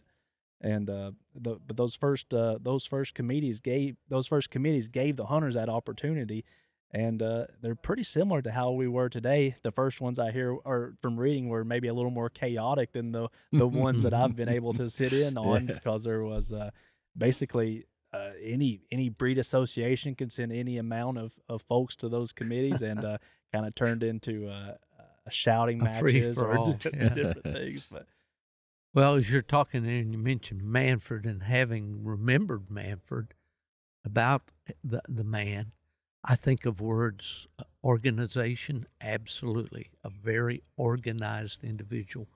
Uh, integrity, I think, without question. Uh, presentation, you know, he wanted it done right, and how it was presented was very important. So, you know, our sport it's very fortunate to have leaders like that. I'm thinking back, this goes way back to the framers of the articles of government that we sure, live under today in Mhm. our country. Where would we be without the Thomas Jeffersons and the Benjamin Franklins and all those people that were great orators, but they Yeah. were great thinkers and Yeah. and you know uh, I think it was Franklin or maybe that said, you know, here's the document, but you'll lose it if you don't take care of it. Yeah. Well, I think that's the way these guys were, Yeah. and I I- I can speak for for uh, you know Manford. He was definitely that kind Yeah. of guy. Yeah. yeah. I think it takes a special kind of person, and I tell eh, I I don't know if I um there's a there's a lot of people that can uh see that something's wrong and think that something needs to be done or changed or improved, but it takes a special person to come and tell you how to improve it or have some Yeah. some special ideas on how to and not be afraid to put their opinion out there and not be afraid for Mhm. people to scoff at it or, or maybe shoot it down at Right. first but uh, during this time we've mentioned a lot a lot of people who who weren't afraid to kind of put their neck out there and have some inventive ideas and look what it's led to hmm Well, you Mhm. mentioned a great point, and I'm gonna assume your roles, guys. Uh, when you interpret the rules, don't you feel a great responsibility oh of saying, look, you know, you get that letter or email or that phone call, and you're the guy that needs to, to say thus and so, okay?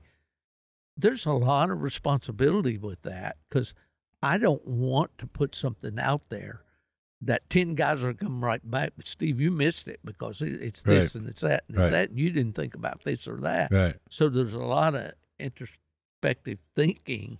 And that's, you guys' heads are nodding. Yeah, I know you're You know, you're eh, you're You know, We and talk I, we talk about that a lot. we do. yeah, yeah. do. And I, I think the average guy out there, as I say at the forks of the creek, probably doesn't think about that a lot. Yeah. You know, they say, well, they want the answer, you know.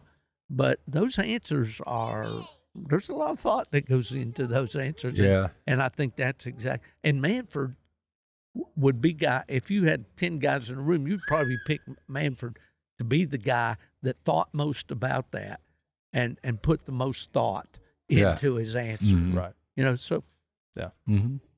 Yeah. No, you're 100% right about that. And, and we do talk about that a whole lot Yeah. today still. And it is, it is highly, very important. Yeah, it's Sure is. if I've I get a lot of I get a obviously we, we get a lot of rules questions. It's probably always been like that, but even today, I even I, I like to just take my time when answering them because you're right, and giving an official interpretation is it's a lot of pressure when you're writing the Coonhound Advisor column, and you know it's an extension of the rule book.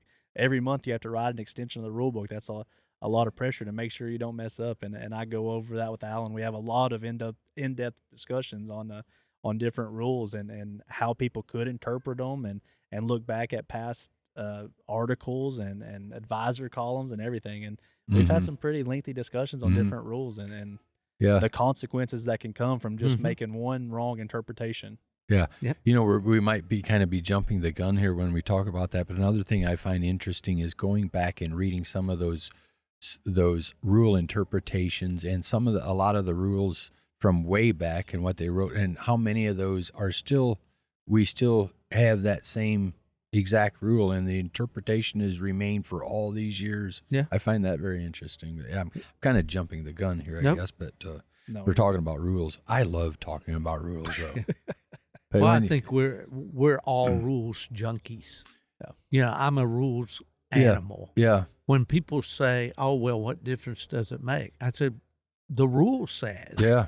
Yeah. You know, and Yeah. that it, it's the rule. Mhm. I Yeah. mean, why do we have rules if we're Yeah. not going to follow them? hmm And so I've always been a very rules oriented Yeah. guy, And me maybe too. to a fault, but I'm, you know, and, and thinking the, the occupation that you've had and you have as well, Allen, it's uh, you have to be. hmm You have to be. well, yeah, yeah, absolutely, absolutely, Yeah. Well, uh, I guess we we can kind of wrap up that there. I mean, the, we we were talking about the the rules committees, the early ones, and and of course, uh, being as they were, they kind of uh, made some changes, and they the rules committee not long afterwards looked a lot like they did today, where only the chartered breed associations were in attendance, only two members per association was uh, was allowed in, and uh, and that's how we still do it to this It- day. it is. the same Mhm. as we did it last Mhm. year, uh, Yeah. right over there in the uh, expo hall. So- Yeah.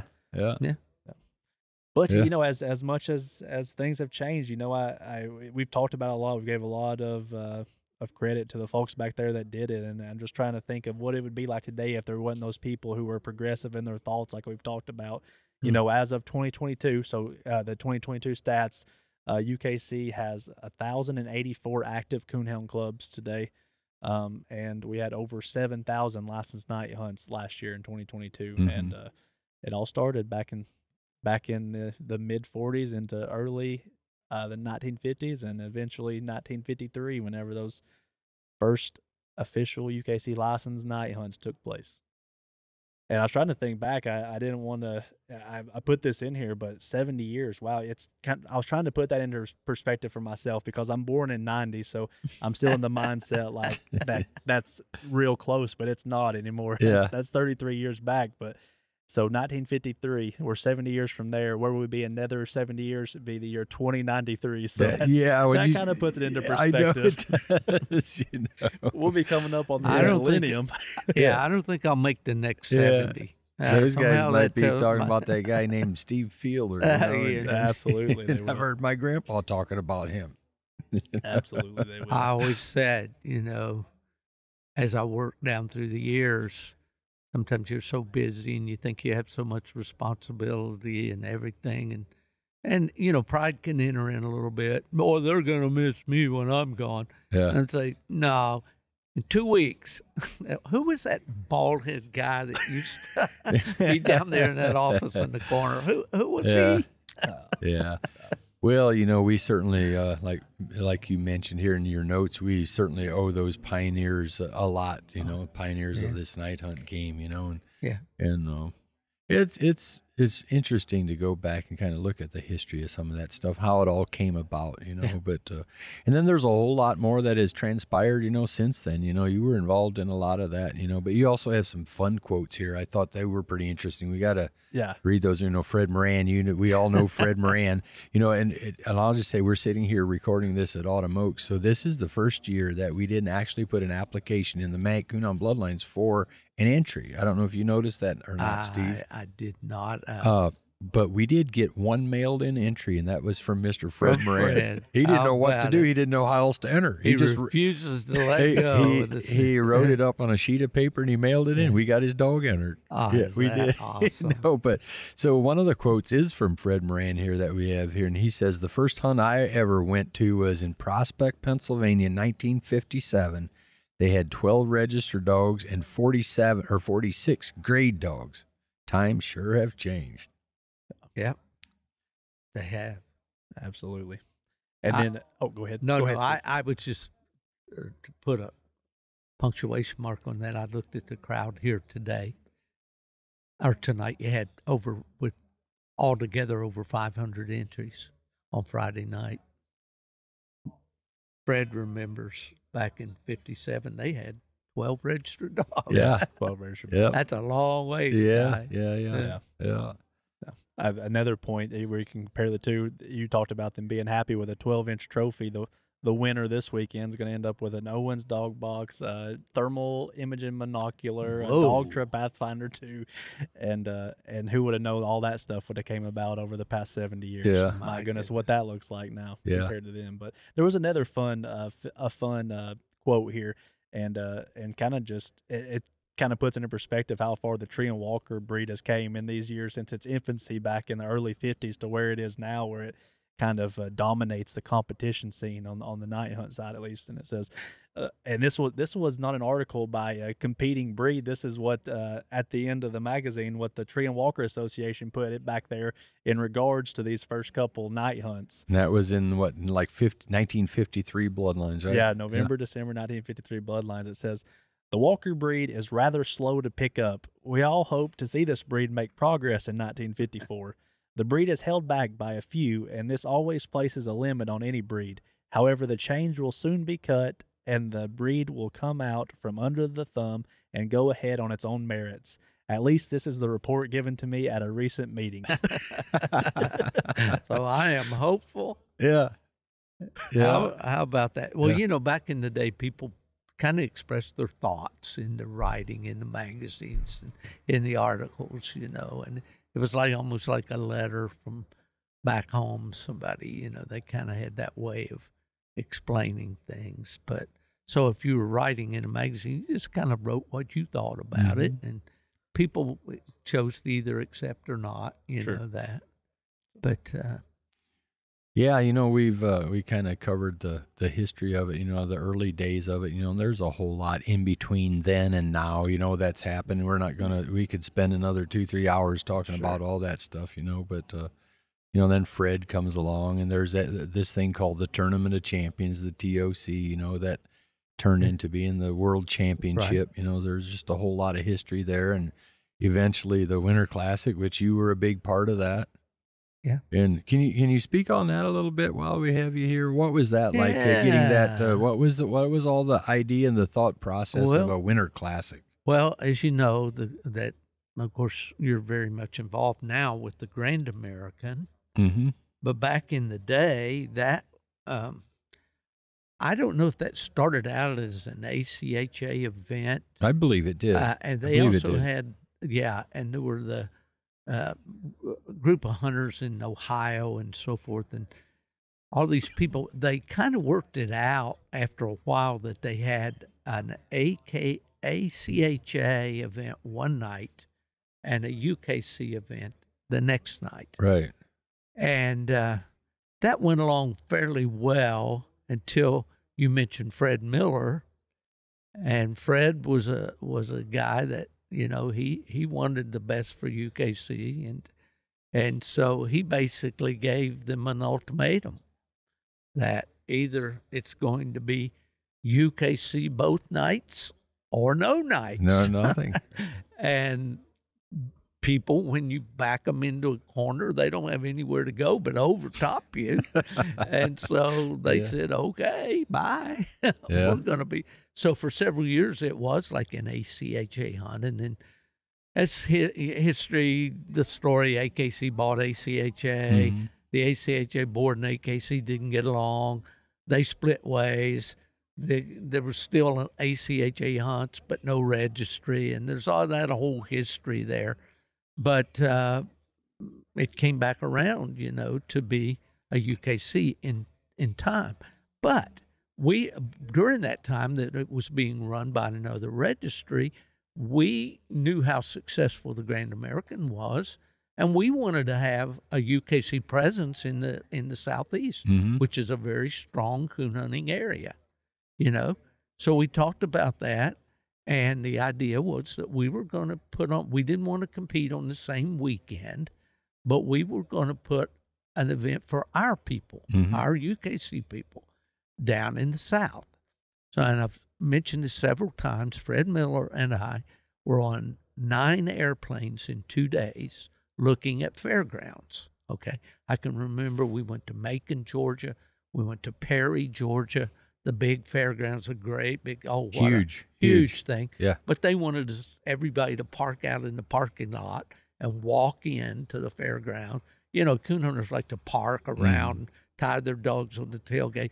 You're not going to go inside that big ag center and leave your dog two acres back here Right, tied in a- or in a dog line. So we knew that wouldn't work. We went over by, we flew into Myrtle Beach, South Carolina, and I think we looked at something right on the coast around Charleston Mhm. looked at that, and there was a blue tick guy that was pretty popular back at that time. He was a major in the army, John Falcon, and he had a dog called Southern Blue Pride that he offered at stud, and he was very helpful to us in finding the Albany, Georgia location. He set it up with a, a lady named Becky Salimi, who ran was the president of the or the representative for the Chamber of Commerce in Albany, and he he told us, you know, this is this is the place you need to go. Of course, Mhm. He he was being a, a bit self-serving because that's where he lived down in that area, and he wanted it to come there Mhm. no problem. But anyway, I remember very well. We flew in. Uh, don't I think we flew into Tallahassee? I think would have been maybe right into Al- Albany at that time. Becky put us in the car and we drove out to the South Dartry Daughtry Community Center, which is south of Albany. You go down the the, go- the famous golfer Bobby Jones Mhm. had a house there on the corner. And you turned there and you went down a couple miles of water and we turned into this tree lined drive. And it's if you look at the old ads for the Winter Classic, you'll see this classic coon hunt in the old South. Mhm. Okay. And you'll see these moss draped Yeah. trees. Well, when we turned down that driveway, Fred's eyes lit up like a Christmas tree. He said, This is the spot. Yeah. Yeah. And so, but it was a community center, and I remember very well in in the heat of that, uh, you know, of course it was January, but we walked off all those vendor spot areas, sprayed them with spray paint because there was just grass. There was no buildings except the clubhouse itself, which was a typical. It looked kind of like a, a country club clubhouse, and they had banquets in there and stuff. And the, I remember the first year we had waiters with black pants and white jackets and towels over their uh, over their, you know. But that was all done by the Chamber of Commerce. Yeah. See, so we had to rent a circus tent to hold our our bench show. We and to to do call our entries and all of that. So we stayed there three years, but we realized that that event was getting much too large, and we didn't know whether anybody would come.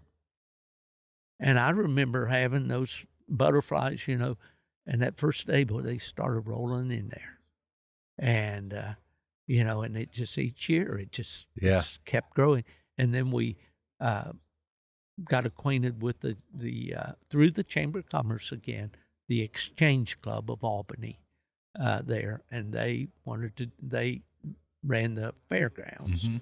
and that's how we moved there, and it was there several And it years. has one of until- those same big trees out there, and then when you pull into that Yeah, driveway as well yeah, on that uh, fairgrounds, exactly. yeah. yeah.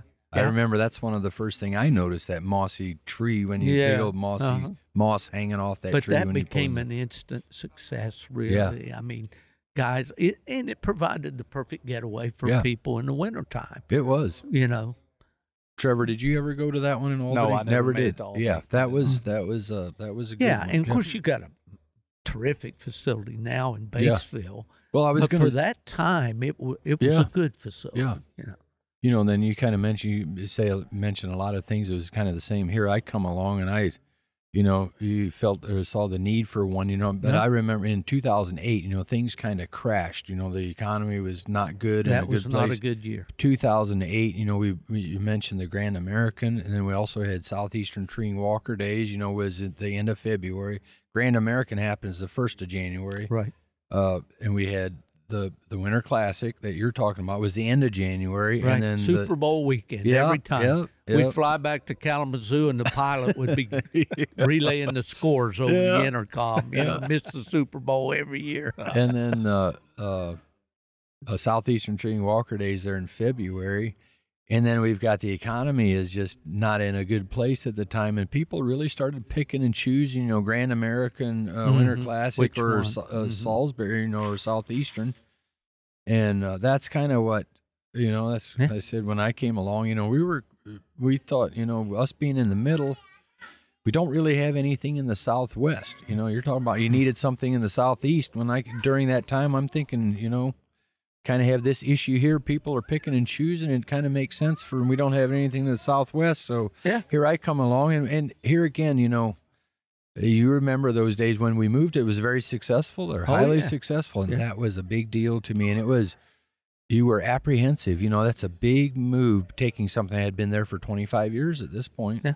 hmm you know and then and but we did a lot of the same things i made a couple trips you know one time by myself and maybe with one of the others and later on todd and i made another trip to look at several locations in the further west southwest you know and and uh and we Yeah. eventually landed in in batesville you know Yeah. but that was you know it was a huge change you know and we Oh, took yeah. a lot of criticism over it but it was the same way for me you know you you're messing with an event that was so successful for so long and you make such a big move that's that's you don't you think on paper it might look good but that Yeah. was that was a big yeah. move for m- Well, me it's too a leap of faith. it is you Yeah. know and then you mentioned you know to to see the people come in and it's you know it being what it is Oh, yeah. kind of went through a lot of the same things I i, didn't think get to go to that first one in Batesville, but I saw the pictures that came forth and all that, and that were taken from up on the mezzanine level or whatever. And Yeah. I said, "Gee, this Yeah. is, this is nice." yeah And see all your vendors in one Yeah. spot, and and your show and Yeah. everything all together, and it, it's a good move, no doubt. Yeah, you know, but so I think there's a lot of things we talked about a lot the evolution of a lot of things, how things have there's the more they stay the you know the more they change, the more they kind of still stay the same. But it's it, it's you know it's kind of neat to watch the evolution of things. You know, from Mhm. talking all the way back to the to the 40s and 50s. You know, and those and where we are today. You know, we kind of skipped over the, the this event where we're sitting here recording Autumn Oaks. You know, 1960. You know, and Yeah. I'm sure you talked a little bit about it in Oh, the yeah. onset. You know, Mhm. some of your experiences, but uh, where it is now, you know, and then and we mentioned the TOC became the World Championship. Now we also have the Tournament of Tournament Champions that we kind of stole that name from Fred Miller back in the day, and it's name. It uh, and Yours it- was a it's- lot more ex- successful than his was. I don't know, but it's uh, you know, there's just another evolution of that that's uh, really Mhm. come a long ways. So yeah, yeah, yeah, yeah. Well, I think like we talked about, it takes uh, people who aren't who aren't afraid to take risk, and that's how we've progressed the sport to where we are today. And uh, uh, still going 70 years later. UKC events were still going strong here in, in Richmond, Indiana at, at Yeah. our 64th Autumn Oaks. Yeah. And I think the crowds are, are you know, every year since COVID that Yeah. right. they're, they're, they're larger and Yeah. larger. And there's Yeah. been a lot of carbon life forms Yeah. on this fairgrounds. Just today, Yeah. I've been out coming- there coming So- walking around. I have a question for you, Steve. I, I know we'll probably wrap this up here in a minute, but I have a question for you. In your tenure at UKC, what would you feel like? I'm sure you have something. What What do you consider as your biggest accomplishments in terms of of being um, uh, in- terms of being involved in the sport and the betterment of the sport or improving on the sport? Did you, Well, do, you- do you have something? I do. I think, you know, immediately I think of the growth and success of Coonhound Bloodlines magazine during that period of time where when I came huge in during that time. Yes. When when I came in, and I don't take all the credit for this, but I, I was fortunate to be able to play a part. You know, we had 3,000 subscribers when the other two Coonhound magazines had about, Cooner had 29,000, Full Cry had 30. I looked at those numbers a lot, you know, and to see how we were able to grow Coonhound Bloodlines. That was a very, and I ultimately, you know, became the editor Right. my favorite job was your job, being in the field office. I loved that most. But that was great. I see the Winter Classic as an an important milestone. I see, and it didn't carry through, but one of the things that I was really fond of and enjoyed a lot was the American Heritage Hunt when we Mhm. did that with the Western theme and the rodeo parade and all of that. Those are very fond memories for me. And I think the very first UKC World Championship bench show up in your neck of the woods at Columbia City, Indiana in 1985, Right. that that was a, a big rush for me. Yeah. Yeah. Uh, so, yeah, and, and to see the RQEs progress, because back in the day, we started a Century Club where if, if a field rep entered a 100 dogs or more in an RQE, yeah. he got a plaque and we did a Right. presentation at the World Hunt. And that there would, there would be a dozen or more of those given Yeah, away every yeah, year, you know. yeah. So those are fond memories. I don't think I could say a, a major accomplishment except that, you know, I think the PR effort really improved at at, at UKC during that time because Dr. Fuhrman was more of a kind of back in the in the in the um, in the background kind of guy, really, Mhm. in in the crowds and all, untouchable kind of, Mhm. and uh, kind of the so- opposite of Fred was kind of the opposite of that. yeah, probably. Fred always, you know, from the get go, he was at every breed association association meeting and all that. I felt like, I used to feel a little self conscious because he'd make me go right into those board meetings. I said, those guys don't want to. In fact, it was my association, the Plott association. They said, no. Nobody's going to be in here but our directors, and there was a pushback on that. Yeah. But that's a tough one, uh, Allen. I can only say all my years at UKC were enjoyable. Mhm. I, I mean, they really were. Um, you know, when you get into the push and shove of daily life, you know, it can- it can get tedious at times. Sure. But I was always very proud to be part of UKC, Mhm. And I'm still proud to be able to come here and to, that you guys let me sit down with you and talk about that. But I, I can't name what I would think it's a major accomplishment. I do appreciate the growth of the World Hunt. I never thought about anything like really like you did with the tournament champions, which that's a home run. I wish I'd had that idea. I didn't, but uh, had some pretty good ideas along Yeah. the road, and and we saw some real growth. You know, uh, I mean, if you look back at the old World Hunt, where we'd have a hundred entries total or qualified, Mhm. and then we'd have you know that it grew exponentially. You know, through those years. Right. But um, those are all just fond memories Yeah. for me for an old guy. But but uh, I don't know the one single thing. I would think.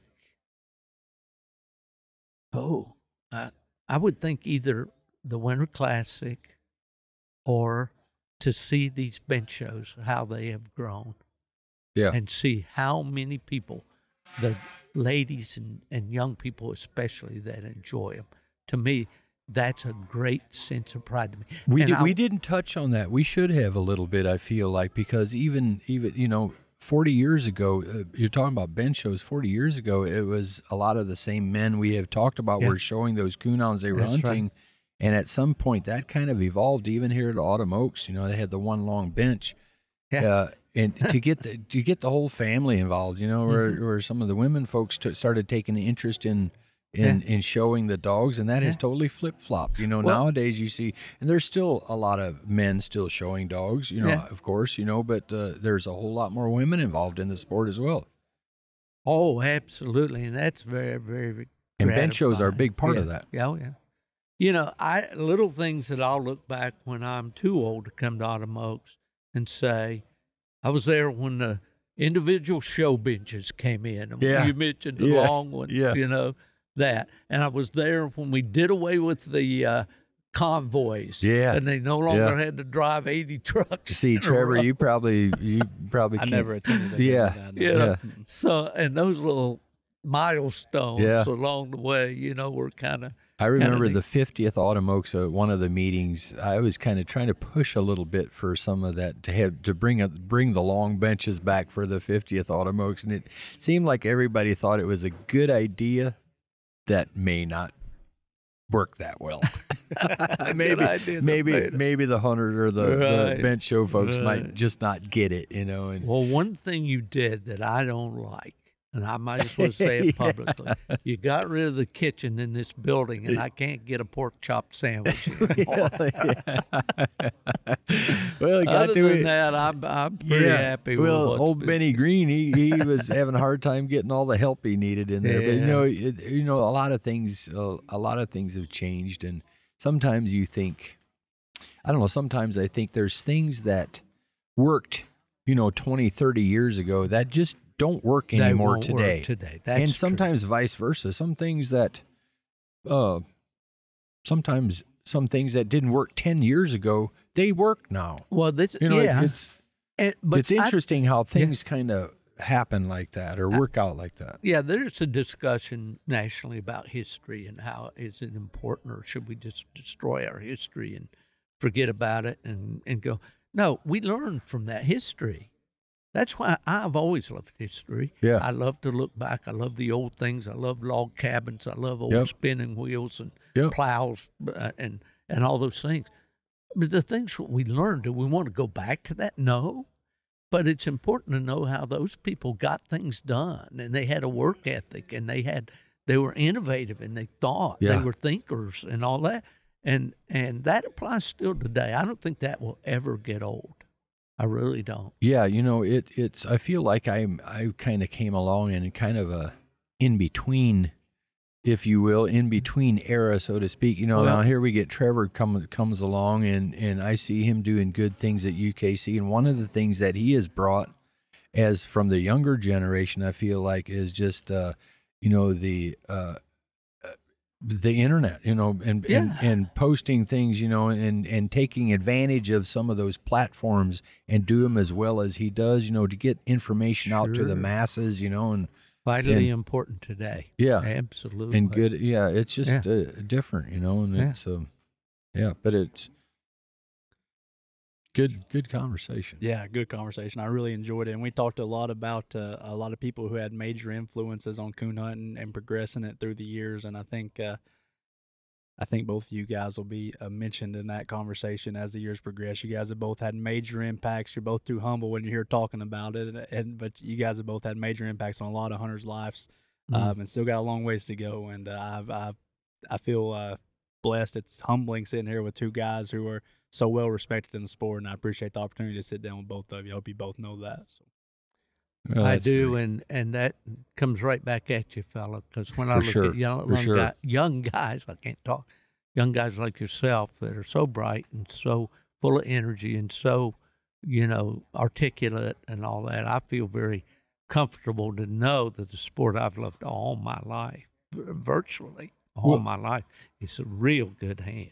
Well, I think you can probably relate, Steve, you know, to having been so involved and directly involved, you know, like I have also been that it, it is important for us for for those that come behind us to have that same passion for it and that mm-hmm. they you know that they Oh yeah, I know, hope that they will. you're right I hope right. that they really feel when they come through this door, this is my place. yeah You know, I I, I belong here. hmm You know, this these are my peeps. yeah. You know, yeah and and I I love it. You know, and Yeah. I do, and uh, and and, and not just us you know there's a whole lot of folks behind the scenes hunters and we talked about the Oh, james yeah. merchants the manfred cravers you know and the robert graves and and all those there's a whole lot of those folks out there still today even though they might not sit in our seats but they're a very influential Sure part of Absolutely. the evolution of this sport I used to try at times when I was still involved in standing before a crowd of hunters before event, and I, I would try without being mushy about it. I'd try to say to those guys, "Hey, I owe so very much to you guys. that's You know, yeah I owe my livelihood for all those years. My son was educated by coon hunters, by their contributions to to you know our company. Uh, you know, so many things in my life I would not have experienced. Uh, you know, financially and uh, mentally and and Mhm. socially and all that that I owe to those guys that were sitting on these bleachers that's today right. yeah. you know and i've always felt that very strongly. Hmm uh, not always they probably didn't always when things didn't go just exactly the way they wanted it and i had to bow up a little bit and say well it's chapter and verse boys. This is Yeah. what the rules say. Yeah but still down deep in my heart i was very very grateful for Yeah. the opportunities that i had. yeah i know you guys feel that too Well, I certainly do, you know, and I know we, uh, the old guys talk about the good old days, and I have my good old days as well, you know. But I'm sure, just like here at Autumn Oaks, there's some, some of those folks that raised their hand today that said that it's their first time at Autumn Yeah. Oaks. You know, these are the good old days for some of those folks Yeah. too, and the younger crowd too. You know, yeah. so i talk to people on the west coast and all that their dream is to get out here yeah, and they'd say, "Well, the the duties of life right now, kids, school, yada yada, can't make it right now. But my goal is to come to Autumn Oaks. Yeah, so yeah, Good stuff. Well, guys, I think that's a probably a good place to leave it here. We got uh, eight o'clock here. A lot of the people are coming back to meet their guides and judges here at the table, and uh, Yeah. man, I can't thank you guys enough for sitting in. Steve, thank you for co- Thank for you staying much late for today and talking to me, me. and Allen. Uh, Yeah. It was a great conversation. Uh, all the listeners out there, I hope you enjoyed this look back in the history to see where all this night hunt stuff started, and uh, can't wait to see where it progresses through the years. Here's to another seventy years, huh? there you go. Thank you, Steve. I loved it. Thank you.